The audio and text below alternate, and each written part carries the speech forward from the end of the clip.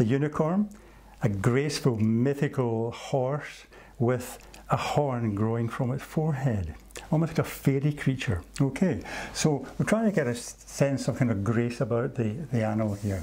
So start off with the head and uh, make it a large kind of oval shape like that, okay?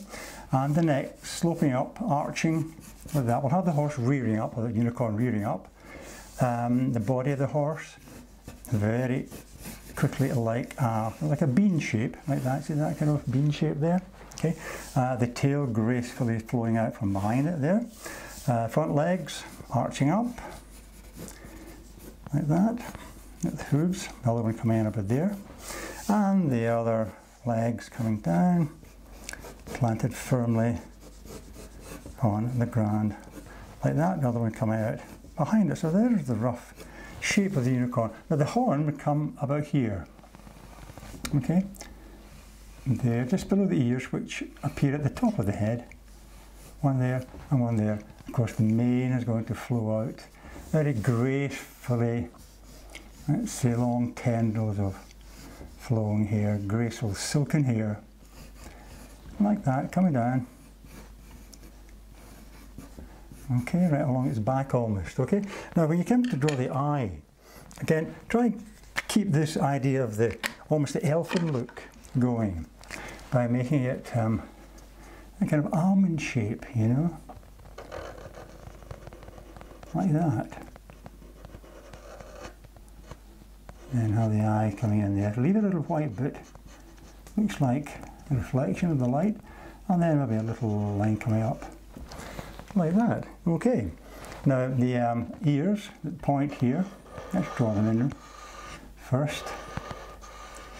Right, and the other ear coming in there. And they say the horn will appear from a bit there, and as you draw the sides of the horn, make it line slightly wrinkly. That gets a sense of the twisting lines that go up like that around the horn to create the shape. Like that. Okay. Now the rest of the, the head of the animal, maybe get a bit of a hair coming down here. And it's a bit more coming around the other side. A graceful bit of hair flowing out behind it there. And the uh, front of the head coming down. There's graceful flowing lines up to a kind of shape there. And then quite a large back to the head there and the nostril will appear about there.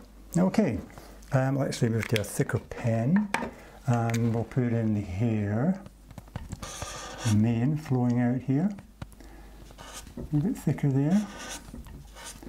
Okay, again, nice flowing lines, these tendrils of hair coming out and maybe coming down from the front there.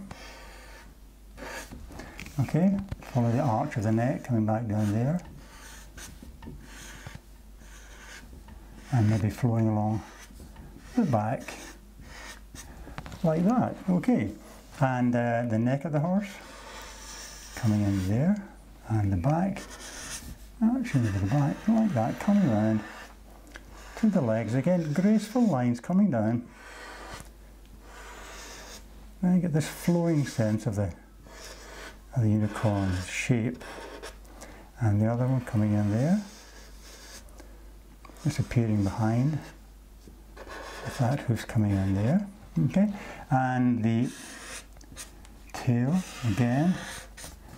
You can create kind of tenderly shapes coming out. Like that. Alright.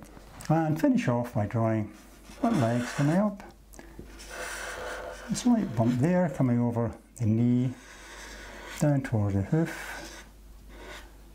And that, get that nice graceful shape of the hoof there. And the other leg coming in. Coming in like that. And you can see the hoof disappearing in there. And the underside of the unicorn coming in like that. And then we have a nice graceful mythical creature Okay, so I hope you can uh, join me in the rest of my series. And uh, in the meantime, all the best and happy drawing.